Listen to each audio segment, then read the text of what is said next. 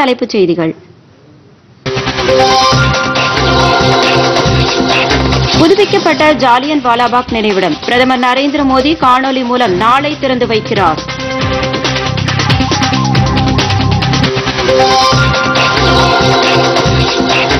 இணைய வழி மற்றும் தொலைநிலை கல்வியில் சமூகத்தின் அனைவரையும் உள்ளடக்கிய அணுகுமுறை தேவை.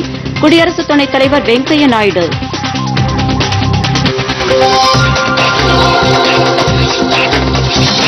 அரசியல் சட்ட உருவாக்கம் மற்றும் சித்ராஞ்சலி எழுபத்தி ஐந்து என்ற தலைப்பிலான நிகர்நிலை கண்காட்சி மத்திய அமைச்சர்கள் அனுராக் தாக்கூர் கிஷன் ரெட்டி தொடங்கி வைத்தனர்.